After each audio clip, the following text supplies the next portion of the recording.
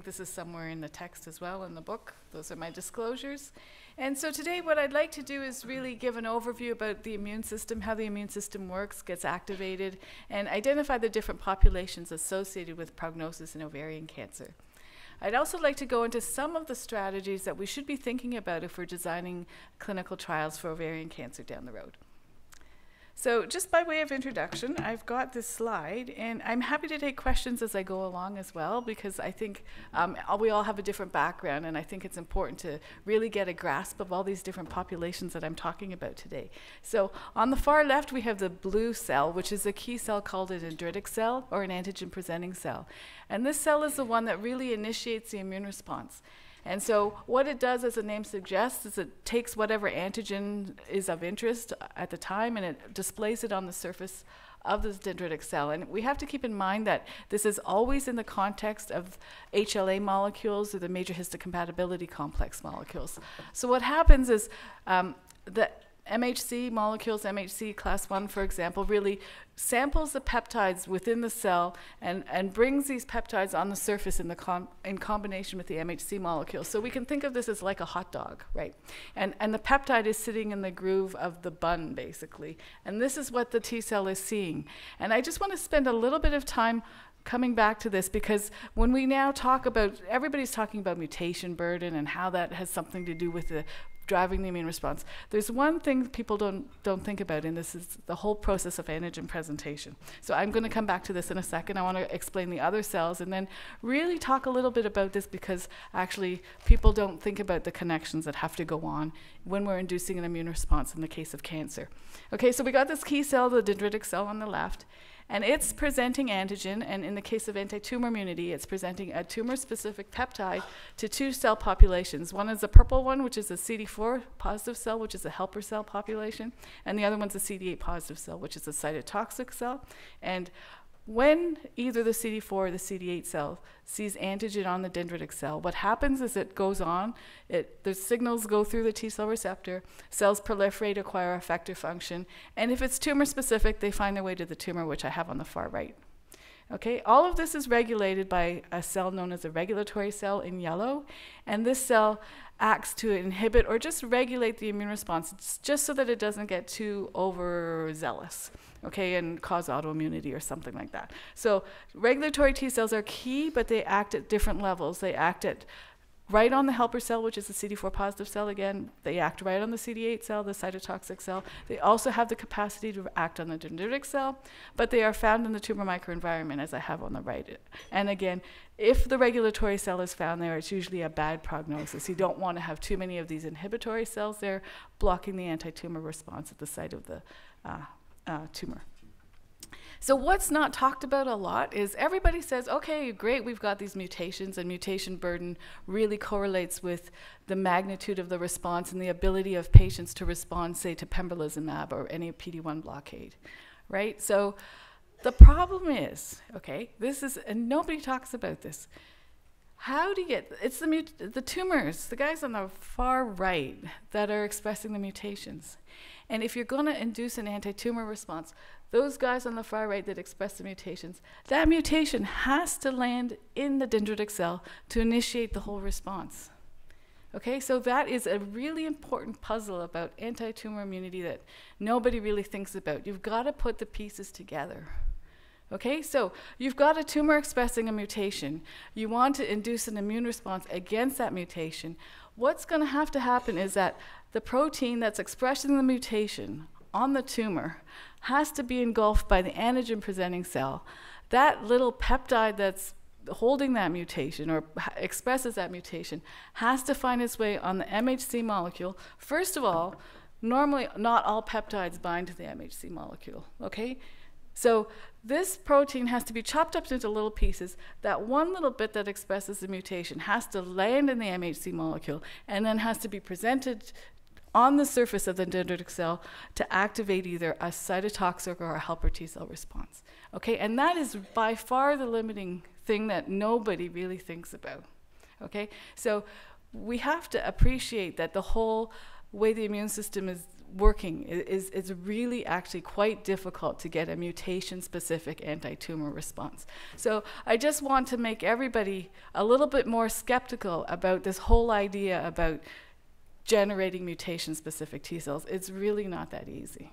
Okay? Okay, so made that point. That's all we need to know. so, um, but back to ovarian cancer. So why are we excited about immunotherapy in ovarian cancer? It's because um, there's really a lot of science out there that says, uh, it, it, hints that it, this is going to work, immunotherapy in the context of ovarian cancer.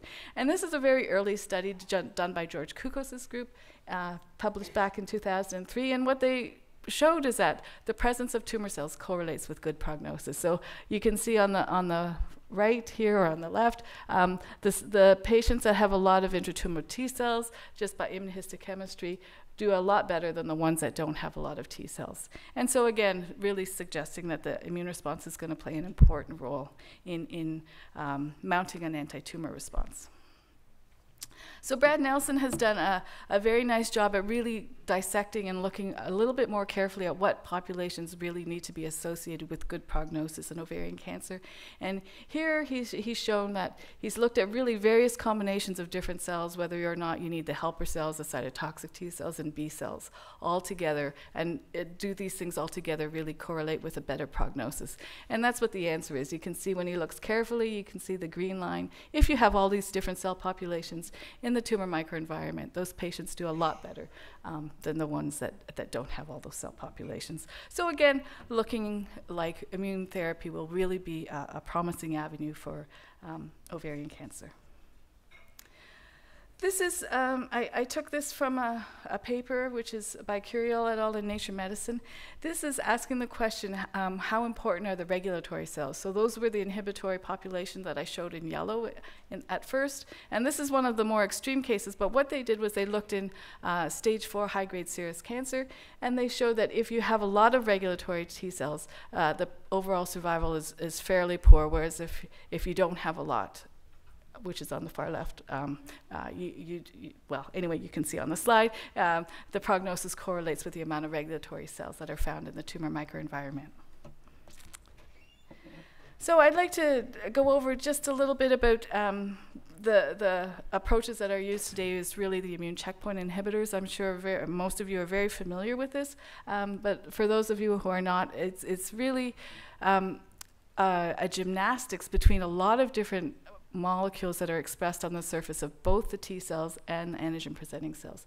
So the antigen presenting cell or the dendritic cell is in blue, and the bottom is a T cell. And I'd like to introduce a lot of the players that are involved in the communication during T cell activation. So the key one is the T cell receptor, which is in the middle, and it recognizes the peptide presented by the HLA molecule. And on the left, we have the two most studied, what we call co-stimulatory and co-inhibitory molecules. And this is CD28, which is a co-stimulatory molecule, binds to both B71 and B72, and CTLA4, which is an inhibitory molecule, I'm sure all of you know, um, which also binds to the same ligands, B71 and B72. So this whole, um, if you think about T cell activation and the regulation of activation, it's all going to be whether or not these guys are competing, they actually competitively bind to both B71 and B72. So the inhibitory and the activating co-stimulatory, co-inhibitory ligands are competitively binding uh, these molecules. So you have to think about T cell activation also in the, the kinetics point of view. So when are these molecules on? It, it's not completely a black and white thing, okay? If you go on the other side, we have PD-1, which is the other very uh, popular co-inhibitory molecule. Everybody's trying to block this interaction, but PD-1 binds to two ligands as well, um, with various names. We'll say PDL1 and PDL2. And the way the immune system works, I would be very surprised if it's not equally complicated, okay? So what I mean by that is um, I would be I would like to predict that we have a negative, sig negative signal going through here, PD1 to these two, but I would be surprised if there wasn't another one that counteracts CD28 that we just haven't discovered yet. Okay, that probably competitively binds to these things. So what I want to say, the point I want to make is that there's actually very many B7-1 family members that have been described. They're up to seven or eight right now, but we really don't know a lot about them. So we're at a very interesting stage in the history of immunotherapy where um, the clinical responses to different drugs have actually, um, they're happening, we're all very excited about it, but the basic science is still somewhat lagging behind now because there's a lot of things we don't understand about how these all molecules engage other molecules. And so I've only got a few on the uh, on my slide here, but I can say there's really orders of tens, tens of to 50 molecules like this that are regulating activation versus inhibition. Okay, the other slightly complicated thing is that PD-L1 is not only expressed on the antigen presenting cells, but they're also expressed by the tumor. So we actually, even though everybody's saying, you know, we think we understand how PD-1 blockade is working, I don't think so because there's, there's the complexity of the whole biology is, is actually complex. there's no way to uh, get around that. So um, there's a lot of things going. We have to think about where are these molecules being expressed, what's the timing, and all the different cell populations that are expressing it. So I can say the, the slide that I showed before, PD1 is on CD4 cells, CD8 cells are on regulatory T cells. And nobody has even appreciated the contribution of adding PD1 and the consequences of putting PD1 on on how it affects regulatory T cells. Okay, so I just want to stand here to say and, and say we are so excited about PD1, but we actually don't even know what cells are expressing it, and both PD1 and the ligand PDL1 in the whole biology of, of, of the treatment and, and um, yeah, the response there's a, there's a lot of work still to do. So I'm highlighting here in one paper um, histology with one particular antibody that was generated by Hamanishi and their colleagues. And so what you see here is some of the heterogeneity when we're looking at PDL1 expression in the ovarian cancer setting. So here's um, samples, examples of where uh, we get PDL1 high expression, intermediate and low expression, but I can say it can look completely different also if you just really look at immune cells that are only expressing PDL1. So here's an example where the tumor's expressing it, but there's also many examples where just the immune cells are expressing PDL1 as well. When this particular group did their study, they showed a correlation between PD-L1 expression and prognosis. So here we're looking at overall survival again, and those tumors that express PD-L1 at high levels do poorly. Now, in, in comparison, um, this is some of the uh, data that has come out from studies from other uh, indications. So melanoma, there's approximately 38% response rate um, non-small cell lung cancer, 17 and all the way down. But I think what everybody's excited about is that there's so many different cancers that are responding to PD-L1 blockade or PD-1 blockade.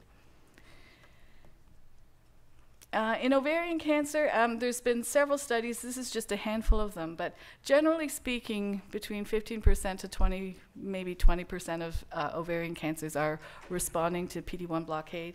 Early studies done um, with nivolumab, not, not this particular one that I have on the slide here, but there were 17 patients treated and two had responded.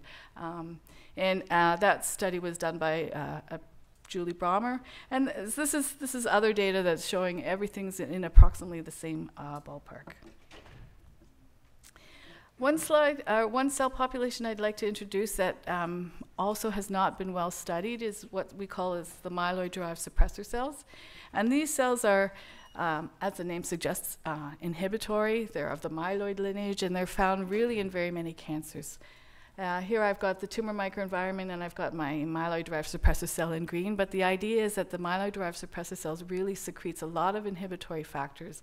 One being IDO, uh, the other is uh, um, yeah, arginase I've got on the bottom. It's, it's really involved in a lot of the biology, including matrix remodeling. But the whole idea, um, I, I outlined in the next slide really that IDO is involved in tryptophan metabolism. I don't know how many um, people have come across this particular uh, mechanism, but it is, it is um, IDO is a rate limiting step in the production of tryptophan. So, what happens if IDO is high is that tryptophan gets depleted in the microenvironment. And the depletion of tryptophan is actually very immune inhibitory. So, T cells need this in the microenvironment to proliferate. And if it's not there, they just don't do as well. They just get a little tired. And so, in that way, it's immune inhibitory because it's, it's actually the consequence of having high IDO is having poor T cell function. And so, when studies have been done asking the question, um, how do patients do with IDO? If they have um, high IDO levels, they actually do quite poorly, which is the lower dotted line. And, and the ones that don't have very much IDO, which is negative or just a little bit positive for IDO, they do much better. So, when we were looking uh, in this particular study uh, that was published in 2009, um, they found that IDO was expressed in 50% of serous endometrioid mucinous and clear cell tumors, and that if it's high, again, uh, T cells were generally lower, the, the good T cells, the CD8 positive T cells. Um, how's my time? Uh, eight, eight minutes. Okay. Okay, thanks. So I'd like to introduce another population of cells. Um, in, in the immune system, which is called the innate immune cells. And so I've already introduced the dendritic cells or the macrophages that are the key antigen presenting cells, but there's another subset called innate lymphoid cells, and that's diagrammed on the bottom box. And the feature of these uh, particular cells. The reason why they're called innate lymphoid cells is it's known that they don't have the rearranging antigen receptors that B cells and T cells have. So they don't have the capacity to specifically recognize antigen, but they're very key in, in acting in the early stages of the immune response. And so these innate lymphoid cells, so what acting means is that, of course, the, the top guys present the antigen, but these other ones are important for generating cytokines and, and skewing the type of immune response that ensues after the presentation or during the presentation of the antigens. And so on the bottom, we have this innate lymphoid cells, and it's kind of a, this is a, an up and coming population. I'd say they've gotten really, really popular in the last five years. Immunologists have just started to explore their function and that, that they're even present in, in various situations in guiding the immune response. And so this is all, I would say, very up in the air right now, but right now it's they are categorized as having uh, three groups of these cells. Um, the natural killer cells, which are known to actually also kill tumors, are part of group one. And the reason why they're part of group one is because they're all known to make a cytokine, cytokine called interferon gamma. There's two other groups of the innate immune cells, group two and three, also defined by the cytokines that are being produced. And this particular group, as, as I mentioned quickly, really is their, their general role is to produce cytokines. They can also kill tumor cells, the NK cells, but they also act as, as a regulatory cell because of the cytokines they produce that really skews the type of immune response that's being activated. And to give an example of how important these cells are in biology, um, we were very surprised to make this finding that was published back in 2012. Um, we were studying a virus model, and this virus model is called LCMV clone 13, lymphocytic choriomeningitis virus clone 13. And this uh, particular virus strain is known to establish a chronic viral infection. So there's something special about it that the immune response cannot clear the virus and it just establishes itself as a chronic infection. And so that's what's shown on the top slide. Uh, uh, in this case, mice get infected with the virus, activate uh, helper cells, cytotoxic T cells, but not very well, and so this is really established as a chronic infection. What we found was that if we took out the natural killer cells from a mouse, um, we actually got a very good cytotoxic response and a helper cell response, so that's at the bottom, and it was so good that the infection was cleared.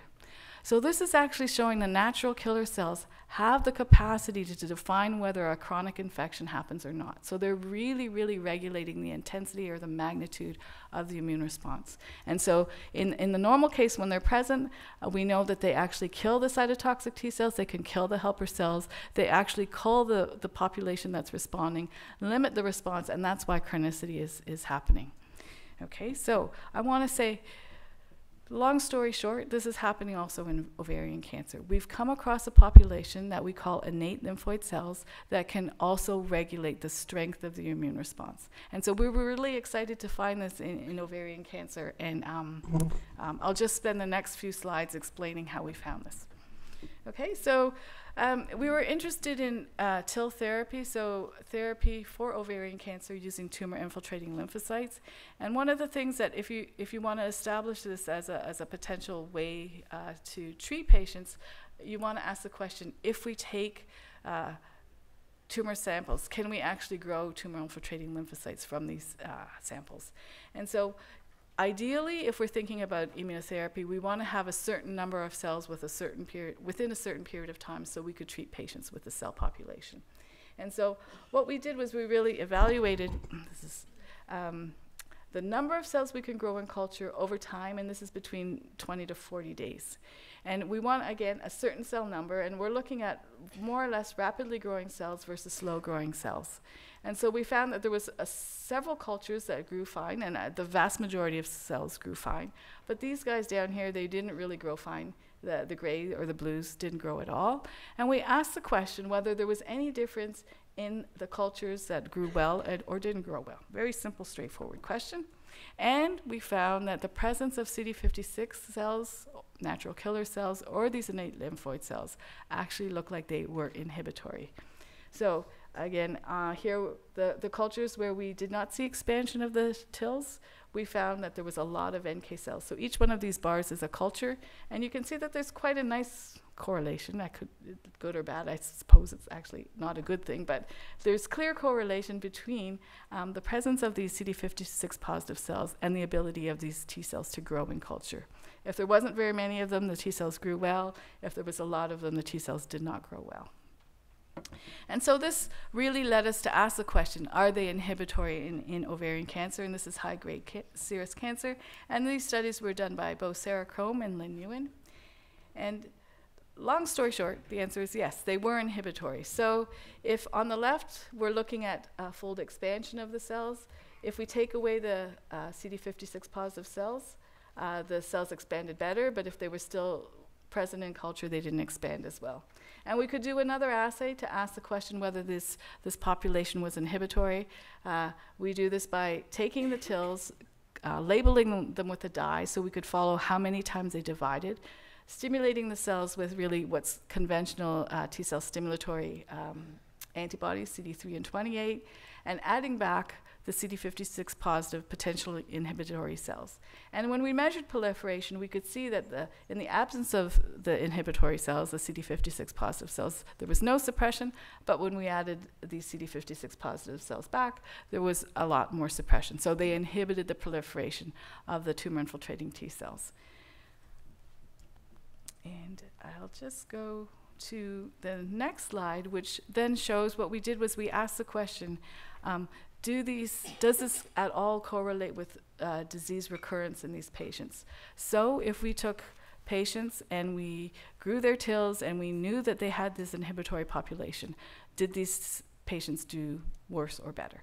So turns out if the patients had uh, these inhibitory cells in their TIL cultures, they did much worse. So their time to recurrence was 12 months, if they did not have these cells in the in the culture, so again, they would have come from the tumor microenvironment because we started with the surgical samples. If they were not present, um, the patients relapse after approximately 23 months. So there was a one-year difference between the relapse rate, whether or not we could find these inhibitory populations in in the T cell cultures. Okay, so summary, I didn't go over all of these points. Uh, we recently published this study in Nature Medicine in, at, in March. And with this study and studying really surgical specimens coming uh, right fresh to the lab and, and then growing the TILs, what we could show was we identified a unique population of regulatory cells that we're calling innate lymphoid regulatory cells, and that these really were associated with slow growth of the TIL cultures. When we looked a little bit deeper, we could see that these inhibitory cells, these ILC regs, limited T cell expansion, both the helper cells and the CD4 cells, and that they also changed the production of cytokines that these T cells could make. So I didn't show this data, but they really have quite an impact on, on the biology of the T cells that are, are found in culture. We think they're a, unique lineage because they express the marker CD56, but they also express unique cytokines or the, a unique combination of cytokines, which is IL-9 and IL-22. And uh, um, these, the presence of these cells did correlate with uh, time to recurrence in ovarian cancer. Oh, Is good. Okay. I have a one minute sign here. okay, so time for the questions. Yes. Okay, so uh, just an overview. What we think now is really we should consider another population of regulatory cells here that I've called NK regulatory cells or innate lymphoid regulatory cells. They seem to be acting very similar to the conventional T regulatory cells. And so, if everybody wants to get their phone and uh, participate in the Q and A, that would be great. And the first question is uh, Are CD8 positive T cells associated with good prognosis? And so this would be the cytotoxic T cells that are found in the tumor microenvironment. So, true or false? 15 responses. Actually, I don't see what the responses are. Not yet. Not yet. you can ask them to stop whenever you want to. We're going for 30. Oh, Yeah. 31. Okay. Yeah, go for it. no, 32. 32. Okay. Very good. And the answer is Don't I get to see what the votes are? yeah, you're going to. They're going okay. to show Oh, the answer is true, but you know, People are still this, voting. this is fun. oh, yeah. Should come up with the answer. 39. Yeah. Oh, there, there we go. There you go. Very good. 87%. Patients with ovarian cancer do not respond as well to PD-1 blockade compared to melanoma patients. A, true, false.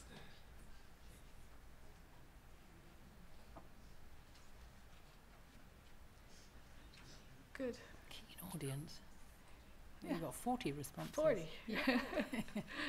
Any advance on 43? Okay, so the answer is true. I went over that slide pretty quick. Uh, I would say 15 to 20 percent. Anna can confirm, but 15 to 20 percent probably respond. I th- well, it's early days. There's really not a lot of numbers, so the ballpark is around that compared to say 38 percent, 30, 20, 35 to 40 percent in melanoma. So let's talk about inhi- immune inhibitory mechanisms. So identify immune inhibitory mechanisms that are found in the ovarian tumor microenvironment. Option A, regulatory T cells from the CD4 lineage, that's a helper lineage, conventional regulatory T cells. B, regulatory T cells from the innate lymphoid cell lineage. C, IDO, ind- indoleamine dioxygenase. D, PDL1. And E, all of the above. You guys are fast. Maybe I talk slow. We're at 35. A lot of them are surgeons, they make quick decisions. Or maybe this is in the book. I haven't looked in the book. okay, so it's, it's E, all of the above. Yes, look, 98%. They were listening. They were so listening. See, that, see, that's what, when you do a presentation right after the break, you see, they're, they're all there. They've had their coffee. Excellent. So I'd like to summarize by saying when we're thinking about ovarian cancer, I think it's going to be really fun in the next five to five years or so, two years, really to come up with the combination therapies. What we want to target is something like PDL, PD1, PD-L1 blockade, but we got to think about this myeloid-derived suppressor cells, shutting down IDO, shutting down the Tregs, and who knows what to do with the NK cells, really. Okay. Thank you very much. I think we've got time for a couple of questions. People brave enough to ask biology. Oh, here we go. Keen. Hi, thanks very much. Fantastic talk, Jessica McAlpine from Vancouver. Um, you hinted at this in the complexity of, of PDL1 uh, assessment and thresholds, and sort of got a very specific question and then a general one. Um, IHC is very plagued with challenges. Do you use the Hamanishi antibody, and what thresholds do you take? And then just sort of your thoughts on that wide diversity in response, even with eh, within sort of high mutational load, high PD1 or PDL1 um, expression, and not actually having uh, response to immune blockade. Yes, I think that summarizes all the key issues in the field right now. And so um, I can, I'm going to answer with my hat of a scientist on. Okay, so um, I think everybody logistically, the you would like to believe it's all about PD-L1 expression and um, what's going on at the site of the tumor, but I really think we don't understand this. So I want to emphasize nobody thinks about the kinetics of the response, right? So where is PD-L1 on and at what time? And I showed you pictures of in the tumor microenvironment, those very extreme pictures of when you have PD-L1 high, medium, and low. You can tell without I think pretty pretty straightforward that the the pharmaceutical companies industry really wanted to peg PD-L1 as a target uh, biomarker. But if you think about it, what they're defining as PD-L1 positive, when you read the fine line in the papers, it's 5% of the cells can express PD-L1.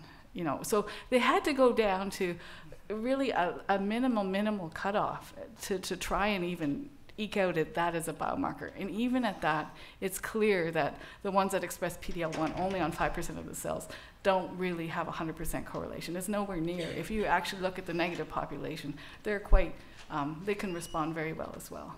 So that just tells you we don't understand the biology of the response. We don't understand where and when PD-L1 is, is being blocked and when it's important. And I know in a paper that's coming out in Nature right now, um, the answer in melanoma looks like it's within one week you can measure proliferating cells that are CD8 positive. Within one week. Okay, so that means when you add, at least if, if in melanoma, if it's looking like ovarian cancer, if we can draw any parallels that way, um, the response is pretty fast. You're, you're gonna kick on whatever immune response you can within a week. If you look, I know we've got data, when we look at two weeks, it's already kind of going down a little bit. Um, so what, what's happening at, for, for, for me in one week? It's changing the proliferation of, of the cells that are already kind of going, but they don't necessarily need to be in the tumor microenvironment. They're almost more likely to be in the periphery that, that gets kicked on, and then they find their way to the tumor microenvironment. And so, why do I say that? We've done studies and we've asked the question how long does um, it take for all the PD1 to be saturated in the tumor microenvironment? In our hands, by the second cycle, by, so by six weeks, PD-L1, PD-1 is not saturated in the tumor microenvironment yet. It takes the third cycle before it's saturated. Okay, so just that disconnect to me means that whatever it's whatever's going on, PD-1 goes and sticks to it, and it happens within the first week, and not six weeks or nine weeks later in, in the tumor right? So the kinetics to me smells like it's something going on in the periphery, has nothing to do with the L1 expression. L1 expression already we know it's very, very not even a good biomarker, but people are pretending it's a good biomarker. Okay, so so that's my answer to that question. And the answer about the mutation burden was really all that I was blah blahing about on the first slide. It's really, really very, very hard to get the mutation from the tumor onto the antigen presenting cell to activate the immune response. And the people who are actually looking for mutation specific T cells have to sift through many, many T cells before they can find it.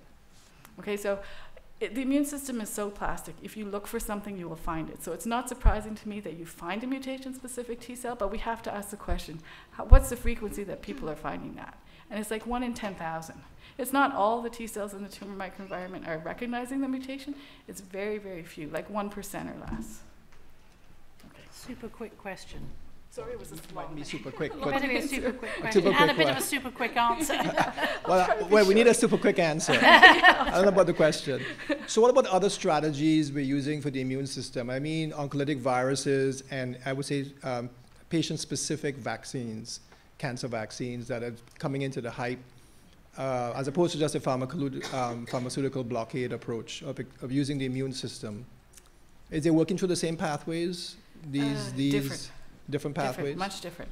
So an oncolytic virus would actually initiate an immune response and help propagate the right tumor microenvironment to promote immunotherapy. Um, but it's all different. So, but if you ask me, it'd be very important to do PD-1 blockade plus blocking one of the inhibitory mechanisms, and I think that will go a long way.